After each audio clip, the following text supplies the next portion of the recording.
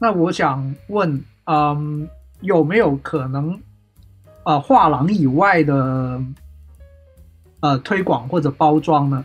因为，嗯，除了网友问以外，我还想起了也有一些朋友，他就曾经说过，哎，我喜很喜欢啊某某艺术家，但是他一直都默默无闻。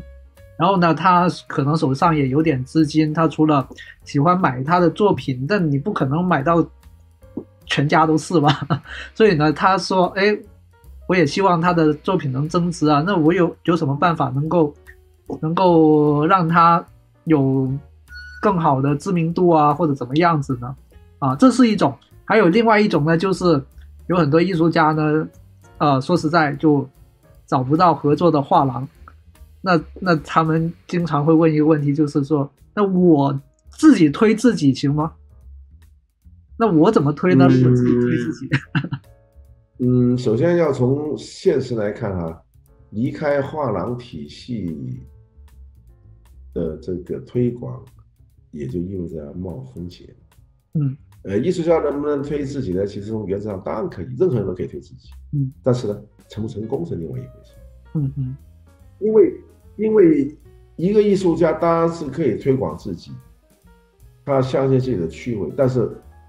这个社会也很残酷，如果一个穷艺术家没有资本，或者没有一个有力的社会阶层的推动，他光自己推自己那是不可能。嗯，那只能就这个变成了一种精神病患者的抑郁而已，不可能的。我的意思就是说，一个艺术家仅仅靠自己的单人单个力量推自己，不是说绝对不可能，但是基本上是不可能的。嗯，那么一个正常人或者有的人想推某些艺术家，可不可以呢？当然可以，你要准备好推一个人的资本，嗯，要准备好你说服某些机构。但是我要强调的是，呃，离开画廊这个体系，离开拍卖行，离开这个体系，呃，我如果有力量，或者我要推一个人，这是一个非常有意思的。冒险，但是人有时候就在冒险中才体现自己的价值。嗯哼，呃，所以总是有些很奇特的例子，就是说，呃，你愿意的的确确是可以挖掘那些沉睡的、被忽略的、被遗忘的、被漏掉的、被干掉的艺术家。嗯，或者说你坚定的相信自己的这种推是有结果的，那你就不妨去推，但这是个冒险。但是冒险就意味着刺激，一定会有人，特别是很有钱的人，他们真的想做这样的事，能不能做成呢？看机，看机会和看运气。嗯，也就是说，不是有钱、很有资本，就能把自己想抬红的东西抬起来，都抬起来。我又告诉大家一个广告的。很严峻的事实。当产品都达到相当质量、都具有相当品质的时候，广告界很清楚一个道理：所有产品的竞争，其实都是广告的竞争。嗯，没错吧？对对。但是这个原则带来另外一个原则，叫做好广告会毁掉坏产品。哦，明白我的意思吧？就当你推的这个是个坏产品的时候，你越有钱推，你其实越完蛋。嗯，虽然这个话不能够完全移到艺术市场，但我想它是有道理的。嗯，当中玩这种冒险游戏，或者是各种运气，而使这个事情做得很有意思的例子，我们考察一下二十世纪的历史，当然有了。嗯，比如说大家现在知道。拍卖行中的硬通货是一个很多年以前就已经去世的，在巴黎默默无闻的画家常宇。嗯，但是你们了解过常玉的出来的过程？他不完全是一帮有钱人抬他路，嗯，这里面跟一个摄影家很大有很大的关系，大家可以查查资料。这个摄影家叫弗兰克。当然，我们要了解常玉出来，我们可以了解到弗兰克怎么样的去获得了这批常玉的作品，这个后来也有偶然性。然后常玉后来又如何的成功的？至少它是一个开始把它丢到市场上，然后被炒炒到今天如此昂贵，如此昂贵。当然，前提是长玉的话似乎具备某种品质。不过，我个人不一定正确。我个人一直认为，长玉的话绝对不是物有所值，炒的太太太贵。我我不认为他的话是和今天这种可怕的价格相匹配的一种作品。另外一个人就是吴冠中，吴冠中是一个很优秀的艺术家，毫无疑问。但是我不认为吴冠中的画之前到了现在拍卖行上如此走火的程度。啊，这是我个人的观点，不一定正确。明白，明白，明白。包括吴冠中怎么出来的，有兴趣的人都可以了解一下。嗯嗯。有两个呃，中国的这个当代画家，一个是台湾的刘国松，一个是中国的吴冠中，他们都跟一个美国的著名的美术史家密切相关。至少这个美术史家在最开始的时候起了很大的作用。这个艺术史家叫李柱敬，堪萨斯大学艺术史的教授，是研究丈夫府的名家。嗯，他的晚年，我和他有过很多次很有趣的交往。就是他最早在六十年代把古根海姆的一个奖金，通过他的努力给了刘国松，刘国松等于有机会在国际上有了一个一年的创作。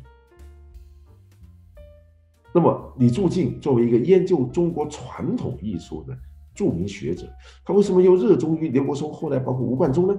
这又是一个很有趣的问题。这里边包含着中西方艺术理念的差距和冲突，以及作为一个中国传统文化的古典学者，面对西方艺术现场的感慨。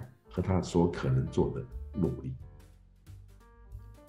也是一个以某种个人力量至少在开始参与推动的一个例子。所以，如果你有力量，如果你有自信心，如果你有资本，其实你想推一个似乎不见名不见经传的艺术家，这个冒险的游戏，我想有一些人是很想去玩的。嗯，也许他就成功，但是很多时候也可能不成功。这个更像一个赌博的游戏，是吧？呃，对，因为因为大家一定要明白啊，我们不要讲艺术的价值，艺术艺术史本身了。从艺术市场来讲，艺术品就是一个独特的期货。嗯，艺术市场真正赚大钱的人，赌的是眼光和运气。嗯，它是个期货，这就意味着，如果你及早看出它的前景，你及早投资，你就划得来。嗯，一九九六年。九七年，张绍刚的一张油画《大家族》也不过了不起八千一万美金。嗯，二零零五年，纽约苏富比拍卖行第一次拍卖中国当代艺术，第一次有中国当代艺术的作品参与拍卖。张绍刚的一张当年的油画，当年拍卖价如果我没记错的话是九十七万美金。一九九六年到二零零五年，九年时间由。八千到一万美金上升到九十七万美金，请问有什么样的货，它的升值会超过艺术品？嗯，这就吸引了很多投机商人、很多冒险家的这种兴趣，焕发他们的兴趣，要做这样的一个奇特的事情。那我顺便就我们就不讨论顺顺着这个问题。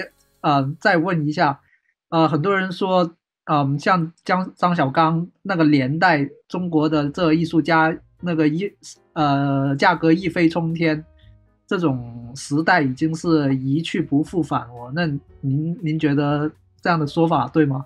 中国还有没有现在的年轻人还有这样的暴富的这个机会呢？呃，大致上我同意这个看法。嗯，因为那是一个特殊时代，其实连艺术家自己，包括我参与了，呃，八九十年代的中国当代艺术进程的这么一个资深的参与者，在一九九六年、九七年，怎么能想到张小刚的画升到这个价格呢？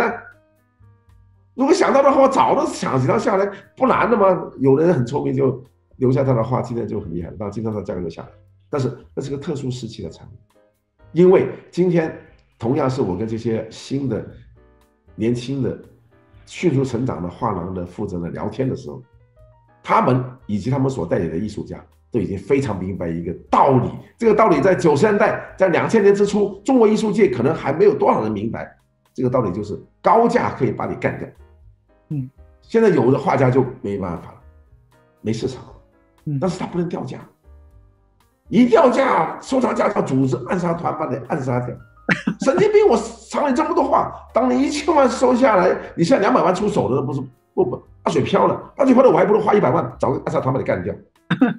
艺术市场的一个非常可怕的规律就是，价格上来就不能下去，下去就完了，就崩盘了。而对一个艺术家来讲，还有比崩盘更可怕的事吗？所以现在的新的画廊和年轻的艺术家，他们反而不断的跟我聊天的时候说，不要太高价，不要太高价，要维持。维持这个价格，否则我的未来空间就没了。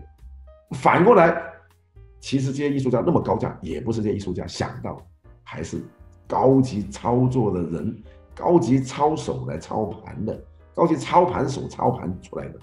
他们提前的把一个艺术家未来的十年甚至二十年的发展空间提前的收获了，然后把你扔到一边去不管。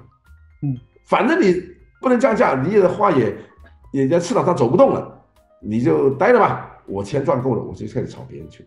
所以最后在艺术市场最成功的还是一帮吵架，把价格抬得那么高，就是把吵架的一个结果。当然艺术家很高兴，但是他们高兴的太早了。